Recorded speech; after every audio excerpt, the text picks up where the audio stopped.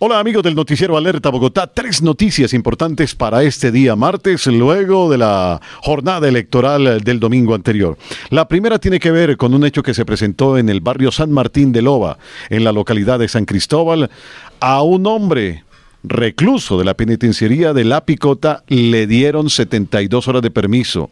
Salió a las 11 de la mañana de ayer lunes y a las 12 lo estaban asesinando ahí muy cerca a la residencia de sus amigos y de sus parientes. Se investiga este caso. La segunda noticia tiene que ver con un feminicidio ocurrido lamentablemente en el barrio Las Villas del municipio de Soacha, en donde en una riña intrafamiliar un hombre le arrebató la existencia a su mujer de 30 años de edad. El hombre resultó herido.